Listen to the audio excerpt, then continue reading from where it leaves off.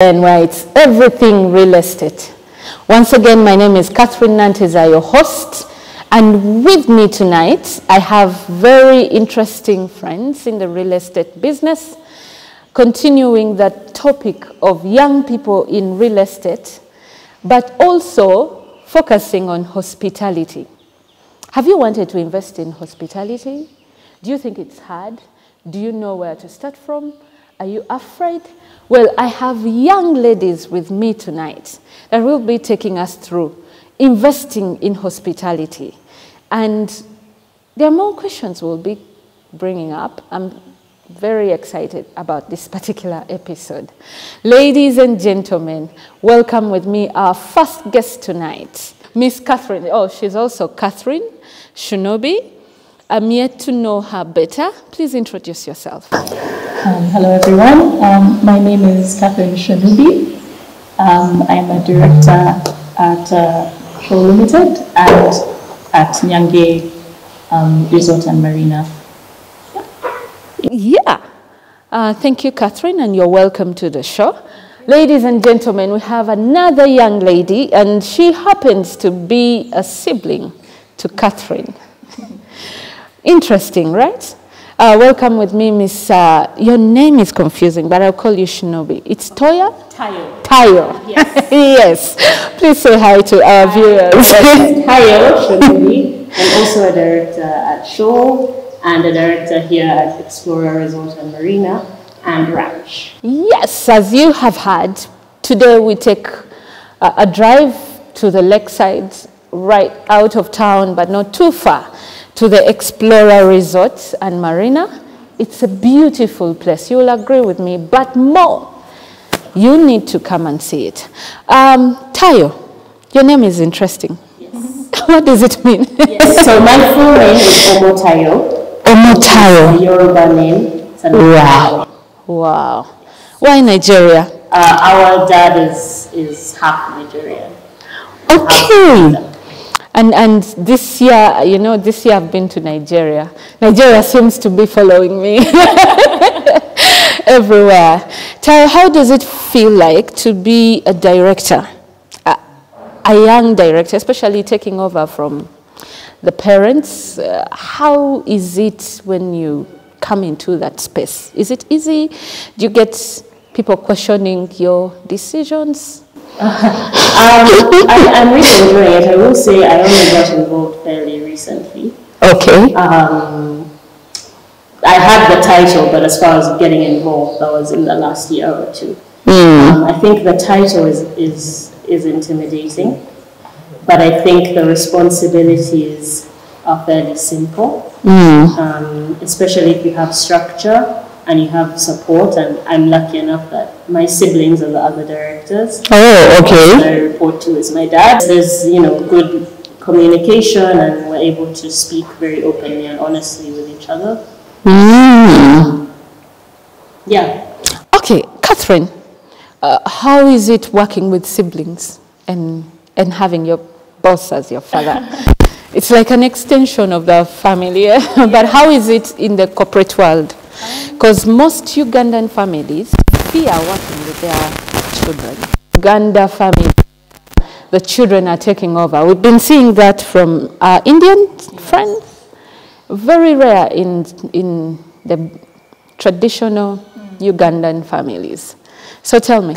Um, we've, it's been very sort of um, organic for us. Okay. Uh, my dad uh, always tried to include us in, uh, like, let us know what he was doing business wise, and uh, including us in what he was doing, taking us to properties and things like that. So we've always kind of had a feel for it or had an idea of what was going on. with him. And um, we also just, well, I guess we're lucky, we get on well. I think we're all friends. Um, even That's another rare aspect. yeah. very few families are friends to each other, and very few siblings are not killing each other. You know? are you killing each other?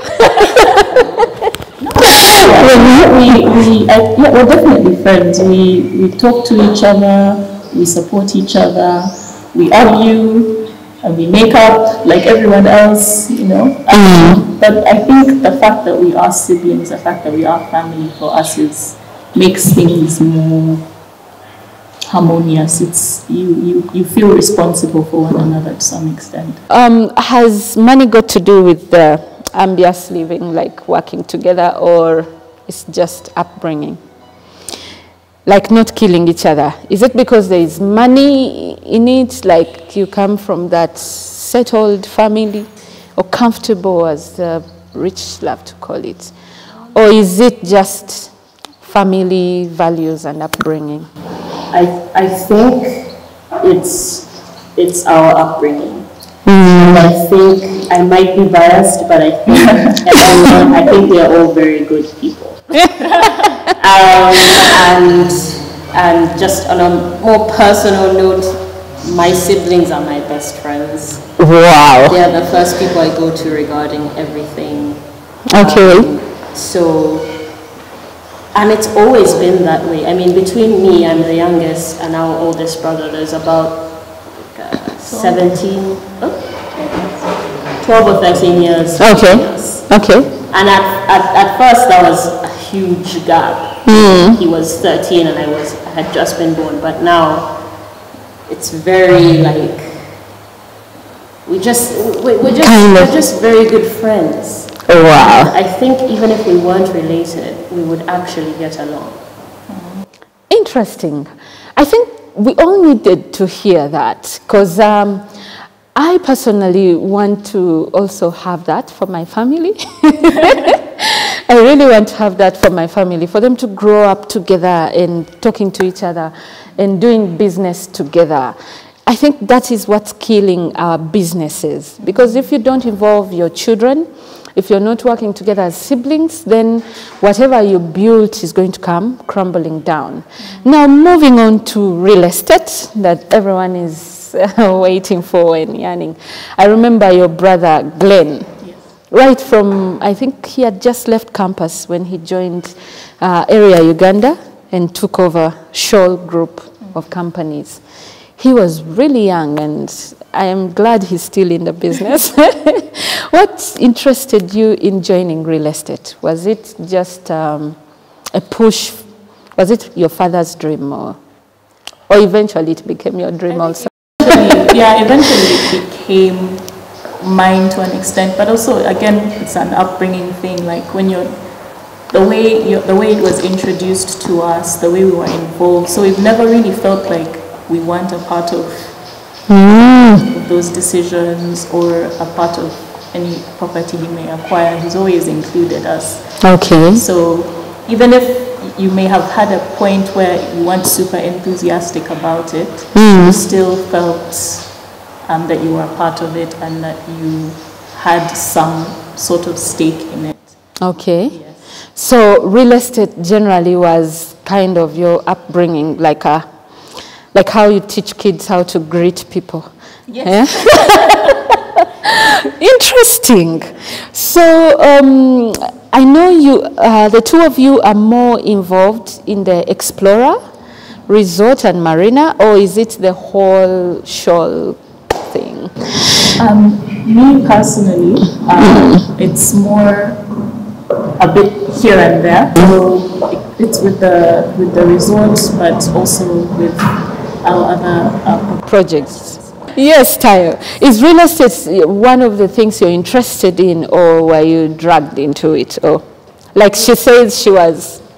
It was kind of mixed in upbringing. It's in DNA now. Dragged is a strong word. um, I would not say I was dragged into it. Yeah. I think same upbringing, um, but also I think with this particular property, seeing it go from how it was as recently as a year ago to how it is now, um, kind of showed me that this is something that we can actually do, and this is something that um, is uh, lucrative Okay. um, and just seeing the transformation and, and knowing that like I was involved in that. Um, but I also I think my main area of involvement with this particular property is photography. Photography. Who did the deco of this place? The interior design and deco? Because, man, it is beautiful. and, and it is so Ugandan. Like everywhere you look, there is a chop of wood, there is something. Like there's a crested crane. There's that, it's traditional and, and, and contemporary and modern and all at the same time. So who did that? um, it was a joint effort. More so, uh, my, my dad has, you know, his vision and then uh, my brother who's an architect. Okay. And myself. Mm. So between the three of us, it just sort of put everything together. Yeah, especially with the with the cottages. Okay. Um, we really put our foot in there. Ah. And although the exterior might, we've been trying to achieve a sort of Tuscan vibe, mm. uh, not too like Tuscany, Tuscany, because we're not in Tuscany. Okay. still want to have a sense of this is something different. Okay. Not necessarily like cookie cutter, what you would normally see. Mm. Kind of. Okay. Uh, Tayo, you mentioned the fact that um, you acquired this pro project, uh, this property, and have been involved in its transformation. What, what how do you come to Bwerenga? It's Bwerenga, right? Mm -hmm. Yeah, why, how did you come to Bwerenga and this particular project? How did it all start? We bought the ranch yeah. in 2006. Okay. We did not buy the resort until, we didn't finish purchasing the resort until earlier this year actually. Okay. Um, and one of the main things that interested us about this particular area is that it's believed to be where um, it's believed to be where it's, it's, supposed to be a sort of cultural site site for Navaganda. Yeah. Okay. yes. yes. Uh-huh. Um, and then also, you know, our our our emblem is the, the buffalo. Okay. That's partially because many many years ago there used to be a lot of buffalo in this area. Okay. Also, our clan. Mm. Uh, is the Mbogo clan. Interesting. Uh, I would love to continue from there, but we are going to take a very brief break. And when we come back, you're going to tell us all about this result. Like, I love the story of, are you saying Chintu was here or something? Ladies and gentlemen, we are going to take a brief break. And when we come back, we are going to delve deeper into investing in hospitality business for real estate developers. Welcome back, my dear viewers. From that very brief break, we continue a discussion on um, investing in real estate. But you know, I got diverted a bit when I saw young people and went into that side and seeing how, even as um, someone running your own business, how you can involve your children in what you do. Now, coming back to this place, yes, Tayo was telling us about how you came to Bwerenga and why. Mm -hmm. uh, you can continue from there. So, how do you finally get the whole place? Um, well, like I said, we, we purchased the resort site earlier this year. Mm. Um, and we just completely, completely redid it. It's like a completely different place. I think the Do you have pictures of the before and videos? um, yes. Okay. Yes. Um, I, I think one of the main things it was lacking before was just life. it, it was just a bit um, this, this is a labor of Oh. Uh, for us as a family, this mm. entire project is a labor of love. What does that mean, Catherine?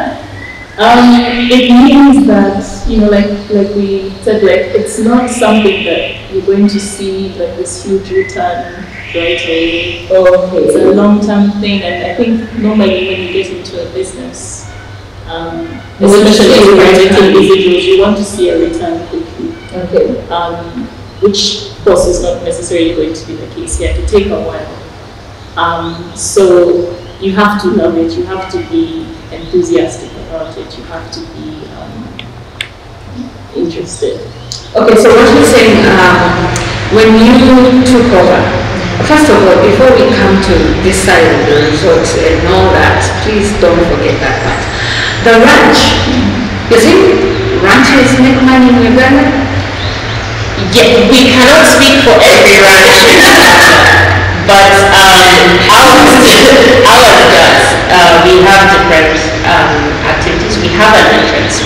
Okay. and then on top of that, we have a bar.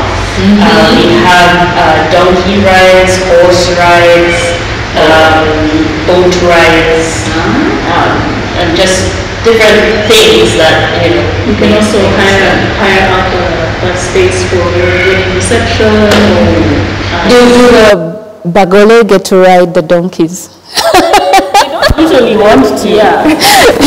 but the, the donkeys are very friendly. They also, if you feel like petting They're them, like dogs. Oh, okay. very used to dealing with people. We are definitely going there right after here.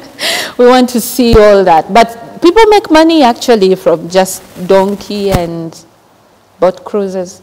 Yes, I mean it's not you know it's not millions and millions every hmm. weekend. But you're content at least with whatever is coming up. Yes. Okay. What, what keeps you going? Is it also like the resort that it's a labor of love or there you were actually making money? That all started, we bought the, the land as like an investment at the time. And then, um, my brother was getting married and we thought, let's have it here. So we cleared the place. I love that. That's how it started. Your brother is getting married and people hire, you know that people hire venues for marriage, not like go and buy the land. I mean, we already bought the land. We hadn't, um, we hadn't taken care of it at the time. We just kind of had, it was still in the state that we'd found it, okay, um, which was its natural state. okay. So we thought, oh, you know what? Let's, Have the wedding here. yeah, let's have So you had the wedding there. Um, so yeah, that's, that's when the initial beautifying of the ranch took place. Okay. And um, after that, we thought, okay, so we have this land. People can, people are willing to come here because a lot of people came for for reception. And you were like, oh, I want to have my wedding here. was great. I want to have something, maybe hold a party here. And you're like, okay. So we were like, okay, maybe there's some, we can do something with this. Yeah. And um, so over the years, it's been literally just enthusiasm and a labor of love. Come, plant trees. Okay. And, and then it, at first, it wasn't even something that we really uh, charged people for, but it's just because we really Have to maintain the place and take care of it also it. gives you a reason to maintain. If people come and they're like, oh wow, this is nice. Can we come and have And so eventually we're like, let's let's Work it out. Mm. The lake had nothing to do with that. big bonus. It's a big bonus. Because you know, we are always charged much higher if there is a lake view. So, but in all this conversation, I haven't had the lake mentioned. It's like, yeah, yeah, it's there. well, um, I mean, people do enjoy it, like uh, because it's because it's a ranch, so there's quite a bit of land. So there's different spots that people may come and be interested in. Someone may say that I want to have my vows on the lake, and I want the lake as a, a backdrop. Do you have pictures of those kind of um, events, like Yes, like beach kind of events, not the one we are used to with chairs and tents and plastic tables, but but the ones where people sit down, you know? picnics and- oh, really? Camping and Glenn actually had his house by the lake. Sitting down on those. Um, no, like, they were sort of standing with the lake back, and then we all like sort of in a movie. How you have Oh. So it's it's this beautiful ranch hidden all the way this side. Uh, how else can one make money in a ranch. We are trying to diversify real estate. You know, everyone is now building apartments, so we are getting blocks everywhere. We want to show them that there are other things they can invest in in real estate. So, how briefly, maybe outlined, how does one make money in a ranch, uh, on a ranch? Or I think it's important to sort of and, and then in terms of returns, you may not tell us exactly in, in uh, figures, but yeah, in terms of returns, how does one make money in a ranch? What can one do to make money in a? important to be um, sort of like observant. Um, have a look around. What is what is what is special about this place? Okay. um, what interests you. It may not be your own interest, but what interests do people tend to have? People like bird watching. said, People like having coming to have picnics, running around with their kids. play a bit of football. You know, um, people like coming to just you know socialize, sit around a campfire. Uh, people like camping. Yeah. There's all kinds of things um, that one can do without necessarily erecting a very big structure. Okay. also are um, working on having themed nights or themed events. Themed events, nice. Mm. Um, the one we've been talking about most recently is um, a vintage car show. Um, we've talked about having a dog doggy day where people just bring their There are dogs and dog they are sporting. um, and, and just different things because there's so much space and there's so much land that you could actually have several events happening at the same time. And each of them the makes sense invest-wise. Yes. Ah. Yes. Okay, okay, that's interesting. So, what prompted you to expand? Because from what I see, you are very comfortable with the ranch. Why get more headache, you know? Well, um, I found that, uh, for example, um, when we had people hiring uh, maybe a part of the ranch for like their wedding reception or something, maybe the Bagole wanted um, somewhere they can change, or you know, we want a room so we can spend. Honeymoon. Yeah, so we ended up sort of kind of working with the former management a bit in that Okay. way. It ended up being a bonus for us at the ranch. Mm. And then um, eventually they decided they, they, they didn't want to keep it. So for a while we were like, ah, we're not sure we want to, to It's like having a big compound and the neighbors' kids keep coming to play in it, and you're like, take it. yes. okay. um, eventually um, we decided, okay, you know what, let's, let's do this. Um, and yeah, see how it, how it goes. How does it complement the ranch? Um, in terms of before with the ranch, we didn't have like a kitchen, for example. If you were coming in, of course, you would bring your own food. So Okay. if you were hiring it for a function, you bring your caterers and things like that. Okay. Whereas now, um, we're able to accommodate Oh. that sort of thing, Mm. um, whether it's on this side or on the ranch side. Mm. So that's been an added bonus for us Mm. financially. Okay. Tell, you said it's the working on this place that changed, yeah, that drew you closer, or can I say made you fall deeper in love with real estate. What exactly happened um, that was not happening the other side? How do you mean? Like you said, this drew you closer to, and, and made you appreciate real estate. What exactly, if you can pinpoint the, the, the, the what can I say, the spark of it? So I think, honestly, seeing uh, the state of uh, this the resort previously, Mm. Um, it wasn't a place that I would personally think to go to. And Okay. I was, it it was, it was a bit sad because you have this really prime real estate next to the lake, um, and you know, prime real estate for tourists, prime real estate for bird watchers, prime real estate for, for anyone. Okay. Um, and they, it, it just didn't seem like they were milking it. Okay. and so They're only feeding it without milking it.